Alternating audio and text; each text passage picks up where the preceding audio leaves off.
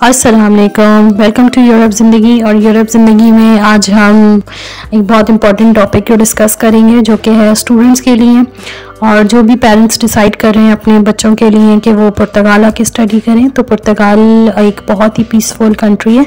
और सबसे अच्छा बेनिफिट इस कंट्री का ये है कि आप पढ़ने के बाद यहाँ सेटल भी हो सकते हैं बहुत कम टाइम में।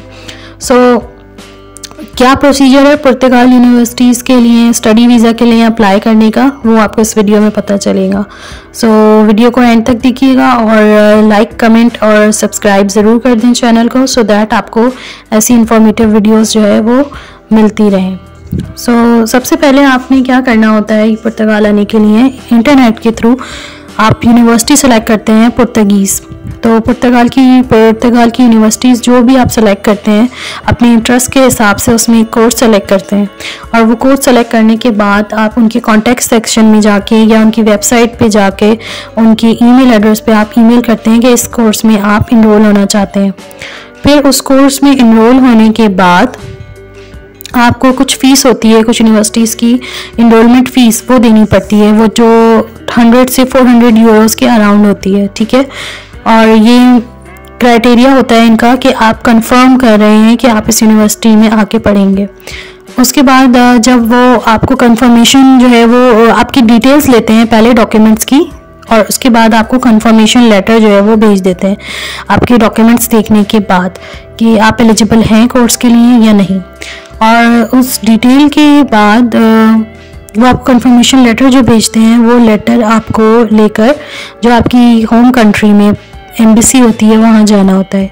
और उस एम्बेसी में जाने के बाद वो आपको डिटेल्स बताते हैं कि इस लेटर के साथ और क्या क्या आपको डॉक्यूमेंट्स चाहिए।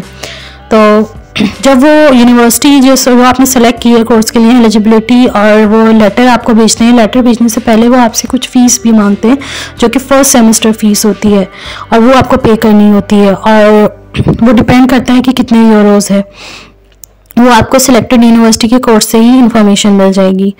तो ये दो फीसेस जब आप पे कर देते हैं और आपको एक्सेप्टेंस लेटर मिल जाता है उसके बाद आप अपनी एम्बेसी जाके डॉक्यूमेंट्स का जो है वो श्योरिटी ले लेते हैं कि ये डॉक्यूमेंट्स मुझे चाहिए। उसके बाद आप आके इंटरनेट से वीज़ा फॉर्म जो होता है एप्लीकेशन वो डाउनलोड कर लेते हैं और सारे डॉक्यूमेंट्स जो भी रिक्वायर्ड होते हैं। सो so, उन डॉक्यूमेंट्स को लेने के बाद सबसे पहले आपको फॉरेन मिनिस्ट्री ऑफ़ अफेयर्स से अटेस्ट करवाना होता है, जिसमें आपके एजुकेशनल डॉक्यूमेंट्स होते हैं, जो भी आपने पढ़ाई की है। लेकिन अगर आप ओ लेवल्स के स्टूडेंट हैं कैम्ब्रिज के ऑलरेडी स्टूडेंट रह चुके हैं तो फिर आपको इस प्रोसीजर से गुजरने की ज़रूरत नहीं है। आपको सिर्फ़ कोरोना टेस्ट और आपका एफआरसी फैमिली रजिस्ट्रेशन सर्टिफिकेट ये दो चीज़ें जो है अटेस्ट करवानी होती हैं, वरना आपको एजुकेशनल सर्टिफिकेट्स भी अटेस्ट करवा के और उसके बाद ये फ़ाइल कंप्लीट करनी होती है।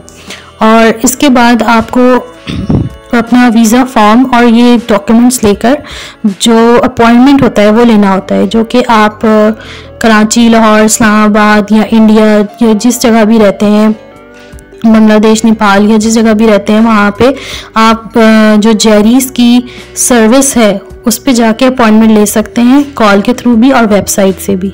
और फिर ये अपॉइंटमेंट लेने के बाद आप अपनी फ़ाइल जो है वो जो रिक्वायर्ड आपकी वीज़ा होता है, उसके लिए आप सबमिट करवा देते हैं।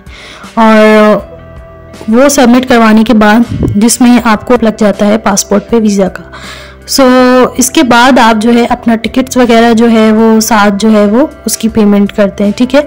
सो so, ये बेसिक आज की इन्फॉर्मेशन थी। आई होप आपको जो है वो क्लियरिटी आई होगी।